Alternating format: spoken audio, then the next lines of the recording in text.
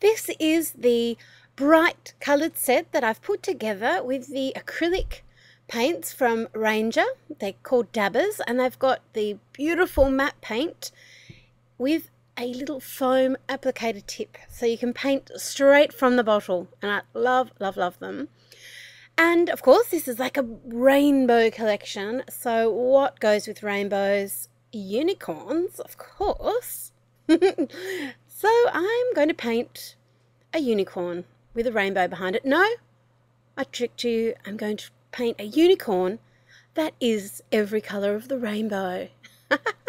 so I'm using the colours red pepper, oh sorry, not red pepper, watermelon, sunset orange, sunshine yellow, citrus green, sailboat blue, and purple twilight. And I'm just placing my colours down on my little painting. As you can tell, I'm sort of experimenting and working out with things as I go. And then I'm using my paintbrush and my fingers to mix the colours together and mould out those colours. And having a lot of fun. You know, I love drawing unicorns. ah, fun. Uh, so I'm just, I really just want you to see how vibrant the colours are. Um, I don't have to worry about erasing the lines that I drew, even though I used a pencil that's called a Col-Erase, which is from Prismacolor, and it's actually an erasable colour pencil. It's beautiful and soft to draw with. I don't use graphite because it's water soluble and it can muddy up uh, colour application. And I just I like the experience of drawing with the Col-Erase pencil, which you can find at the Institute of Cute, of course, because all of my favourite things are there because uh, this paint is so opaque, I don't need to erase my lines. I can just uh, put the paint on nice and thick and it will cover up everything. Or I can add lots of water to it and it will have more of a watercolor effect. But the reason that I love this paint is because it's so matte and I can draw on top of it, which is what I will show you in a moment. Now I am going to add a colour that's from a different set. from the Royal Collection. And it's gold. It's beautiful metallic gold. Because, you know, what's a unicorn without a metallic gold horn? Come on.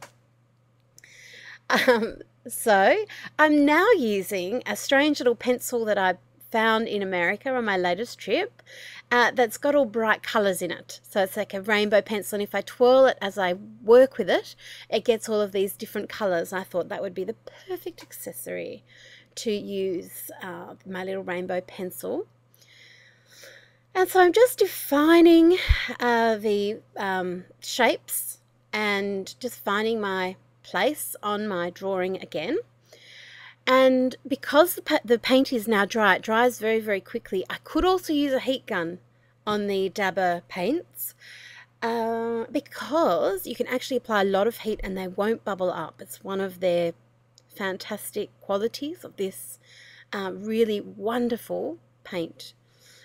Um, yes, so I'm just defining it with Prismacolor pencils as well and my beloved Sharpie poster paint marker as well that actually contains matte acrylic paint uh, also just to add some highlights and they uh, I'm just softening them off with my fingertip and I can just keep on adding paint and creating my, my rainbow unicorn.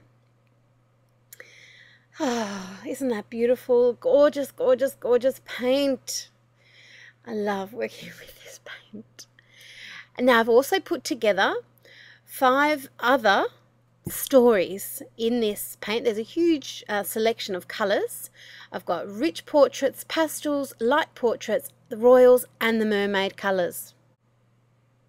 The Institute of Cute specialises in fantastic journal supplies. instituteofcute.com